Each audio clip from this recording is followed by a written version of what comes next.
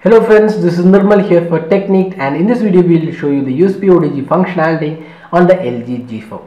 So the G4 runs Android 5.0 Lollipop with a custom UI and now we have uh, a USB OTG cable with a pen drive connected to it. Now let's test the USB OTG functionality. Now we will insert this uh, pen drive uh, using the cable and see if it is detected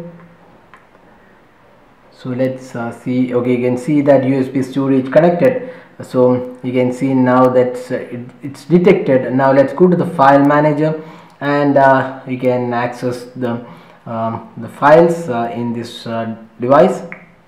So there you go the file manager. So you can see uh, you can see it is connected USB storage available. So this uh, this includes internal storage uh, then you have the SD card which is already included uh, in this device.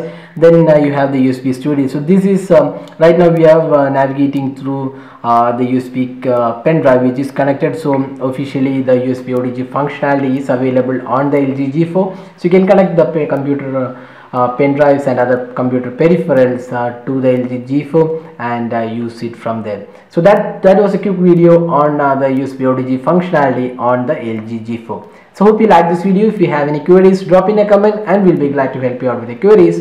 If you like this video, do hit the like button and also subscribe to our YouTube channel for more videos. Thanks for watching this video. Have a great day.